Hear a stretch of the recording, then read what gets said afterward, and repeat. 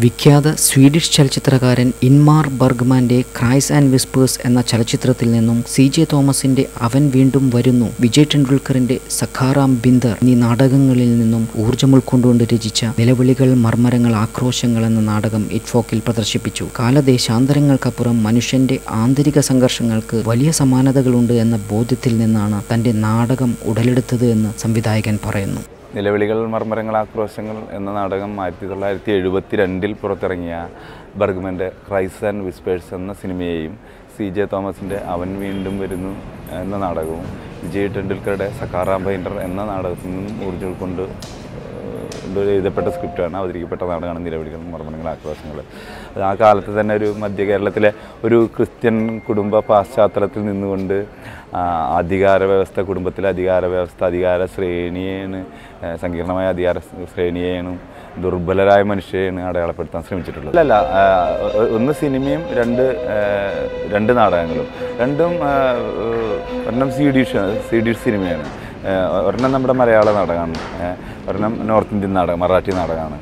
അത് അതിന്റെ തന്നെ വലിയ വലിയ വ്യത്യാസങ്ങൾ സാംസ്കാരിക വ്യത്യാസങ്ങളൊക്കെ ഉണ്ട്. പക്ഷേ മനുഷ്യന്റെ ആന്തരിക സംഘർഷം പലപ്പോഴും വലിയ സാമ്യങ്ങളുള്ള മാതിരി തോന്നിയിട്ടുണ്ട് പല സ്ഥലത്തു നിന്നുള്ള ആ ആ- സാമ്യമാണ് അത് വളരെ രസമായിരുന്നു അത്. എഴുത്തിൽ എഴുതാനും അത് ചെയ്തെടുക്കാനും. അത് ഞാൻ അതിൽ ഇൻട്രസ്റ്റിംഗ് ആയിരുന്നു അതങ്ങനെ.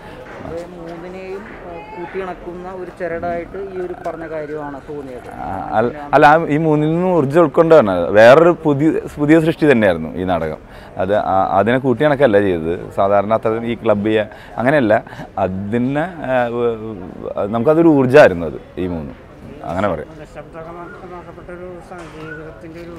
അതെ അതെ അതെ അത്. ഏത് കാലത്തും ഈ വിഷയത്തിന് പ്രാധാന്യം ഉണ്ടെന്ന് എഴുപത്തഞ്ചിലെയും എഴുപത്തി ആറിലെയും കാലത്ത് നിന്ന് പറയുമ്പോഴും ഈ ഈ കാലത്തും അതിന് പ്രാധാന്യം ഉണ്ടെന്നുള്ള തോന്നലാണ്. അങ്ങനെ ഉണ്ട് അത് ഈ കാലത്തിനും അത് പ്രാധാന്യം ഉണ്ട് എന്ന് തന്നെ തോന്നുന്നു. ഏഹ്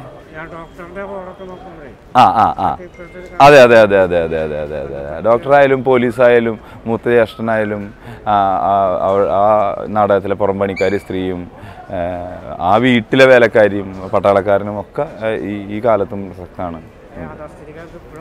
അതെ അതെ അത്. കൂ- കൂടുന്നതായിട്ടാണ് തോന്നുന്നത് എത്ര പുരോഗമനപരമാണ് നമ്മുടെ സൊസൈറ്റി എന്ന് പറയുമ്പോഴും അത്ര കണ്ട് അതിന് സങ്കീർണതകളും പുരോഗമനത്തെ പുറകോട്ട് ഉണ്ടെന്ന് തോന്നുന്നു. അങ്ങനെയാണ് നിരീക്ഷണം നമുക്ക് തോന്നുന്നത്. അത്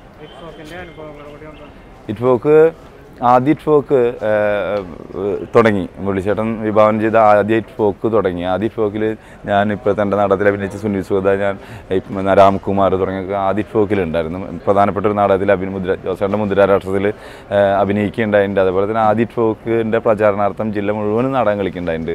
പിന്നെ എനിക്ക് തോന്നുന്നു എട്ടോ ഒൻപതോ തവണ ഇറ്റ്ഫോക്കിലെ നാടകം ഞാൻ കളിച്ചിട്ടുണ്ടെന്ന് അതുകൊണ്ട് അതുകൊണ്ട് ഇറ്റ്ഫോക്ക് നമുക്ക് വലിയ ഊർജ പ്രവാഹമാണ് ഊർജമാണ് തരുന്നത്.